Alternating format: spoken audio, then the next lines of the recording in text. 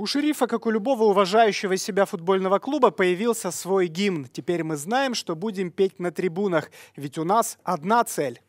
Это строчка из гимна, его слова легко запомнить. Музыка, что называется, качает. Денис Мартыненко послушал, встретился с автором гимна, и вот что из этого получилось.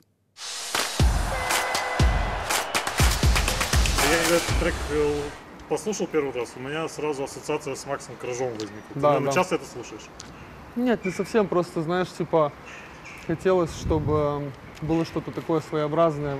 У Макса Коржа в основном сами по себе треки, у них концепция, знаешь, подходит.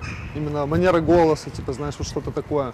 Именно наподобие патриотического что-то, знаешь, вот. И мы как бы решили, что будет лучше сделать в таком стиле, потому что в основном сейчас молодежь слушает такое. Как бы Коржав слушает, мне кажется, каждый, в принципе. Вот. И мы решили сделать что-то подобное, чтобы оно именно вот качнуло нормально. Как ты считаешь, наподобие. зачем футбольному клубу вообще нужен гимн? Ну, для своего рода, как бы, гимн, мне кажется, это болельщики должны выкрикивать. Он должен быть стильным, как бы, в целом, чтобы э, при выходе команды, мне кажется, была какая-то такая определенная, какой-то определенный заряд, заряд энергии в целом для зрителей, для болельщиков. Как бы мы писали его, исходя из того, чтобы он звучал так, чтобы именно сами болельщики как бы взрывали трибуны. То есть ты представляешь, что вот эти слова, этот мотив может звучать вот на весь стадион? Да. То есть он на это Да, рассчитан? да, мы на это и рассчитывали в целом, когда писали его. Мы даже его пытались сделать в таком темпе, чтобы он был вот больше на кричалку похож.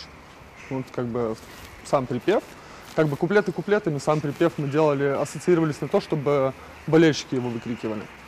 Даже если вы заметили в начале, там где вперед шериф, там много голосов как бы в целом.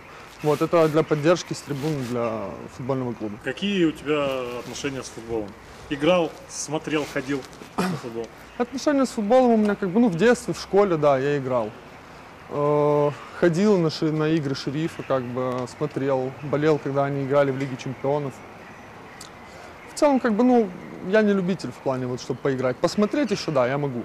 Посмотреть, как бы, там, может быть, свободное время сходить с ребятами, вот, где-то поиграть можно. А так, чтобы профессионально заниматься, ну, не знаю, это не мое.